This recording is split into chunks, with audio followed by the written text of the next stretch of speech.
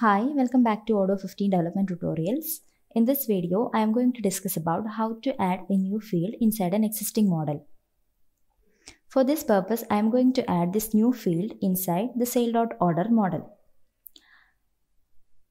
First of all, uh, I have inherited the sale.order model inside the Python file and I am going to add this new field short note which is of character type inside the model now we want to add this uh, view to this field.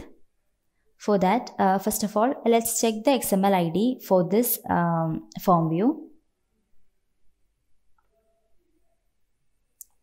Which is sale.view order form.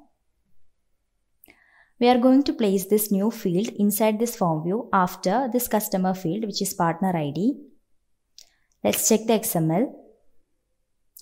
Inside the XML, I have inherited the, uh, the form view of the sale, uh, sale.order model, uh, which is its external ID is uh, sale.view order form. Inside it, uh, let's place this new field after the partner ID field. Let's run the PyCharm and uh, upgrade the module.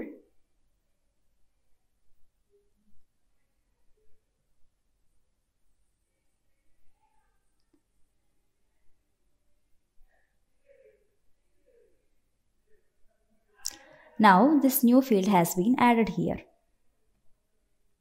In this way, we can add new field inside an existing model.